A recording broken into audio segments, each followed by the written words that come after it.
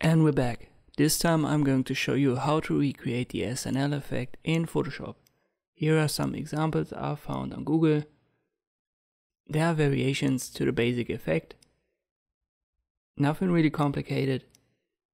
We will work on an example that I've created for myself. Let's just open a new file, 1920 times 1080 should be fine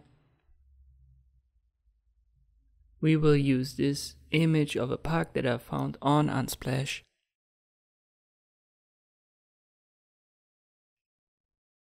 You can find that via the description link below.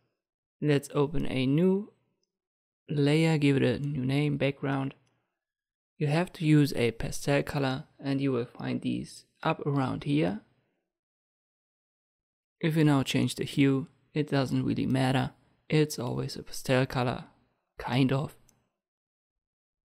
And it looks good on these effects. If you found your color, just click on OK. Now we activate the paint bucket tool and make our background in that pastel color and then drag the background layer below our image layer. Now we want to cut out the park from its background, we'll use the quick selection tool. If you have never done that before, I'm going to link a video of mine in the description below as well that goes over this process a little bit more in detail. I'm going to speed this up for this image. So if you have never done that before, go back, click on pause, go to the description and use that video first and then come back. So you're done with your basic selection, click on Ctrl 0 to zoom out, then click on Layer Mask, click on Select and Mask, refine edges. At first we'll increase the radius a little bit, and then we will refine the edges with the brush tool. Just a little bit. When you're done, click on OK,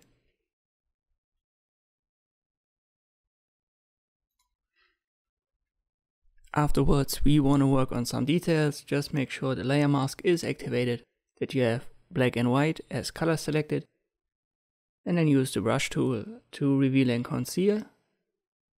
White reveals, black conceals. You can switch between those by pressing X. I'm going to speed this up once again. So we're done. Now we want to use an adjustment layer black and white to make our original black and white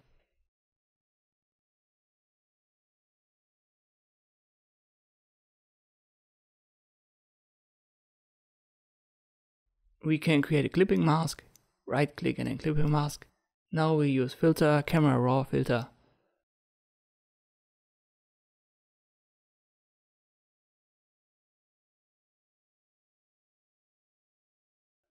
Sometimes SNL uses an effect that has more clarity and a little bit dehaze in it. We can even desaturate this specific image a little bit more. When you're done, click on OK.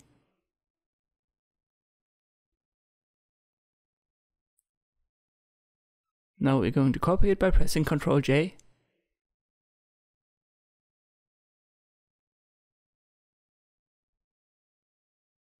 Then right click on the copy layer and we will work with the channels. But let me first move our copy a little bit so that you can see the effect applied. Just go over all of the channels, try different combinations. And when you found something you like, just press OK.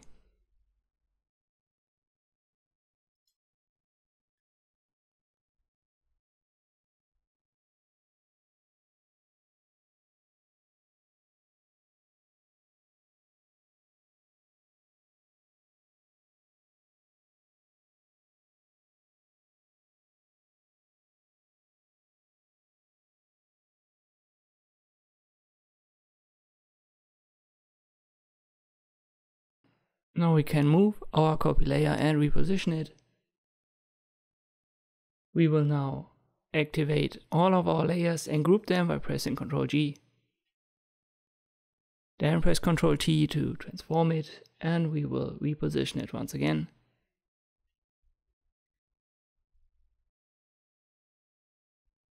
I am still not satisfied with the channel selection.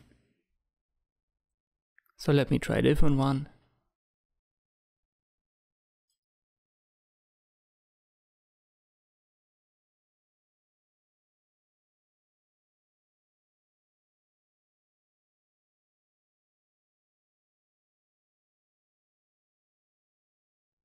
That looks better. Afterwards, click on adjustment layer Hue and saturation. Whatever you do now, it always looks good as we have already created the right pastel color. We will increase the saturation a little bit in this specific case. And we will go down with the lightness slightly.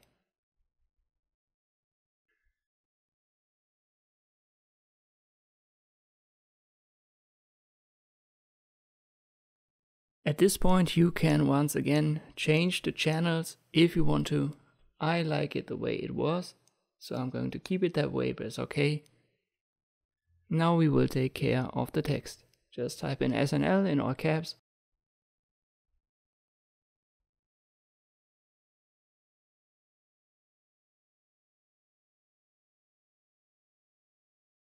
As a type, you can use Impact, Arial, or Franklin Gothic these are the free fonts that are already inbuilt in Photoshop and they work quite well.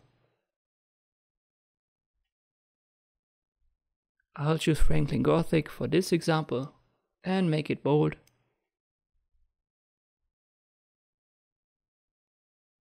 As a color, you should pick a color that is in the image that you have used, or in this case, in our copy of the image with that single color channel. The positioning is very important in these SNL bumpers. So I'm going to test out some compositions. We need to make the single letters a bit closer to each other by using VA as an option.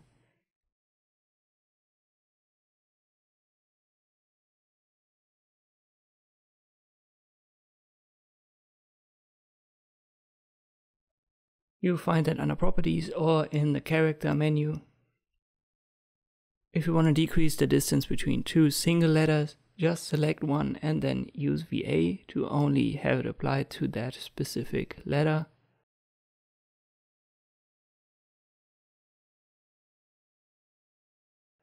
And now our result looks way better. But let me try out different compositions. Maybe I reposition our pack image a bit. Let's transform it and make it a bit bigger.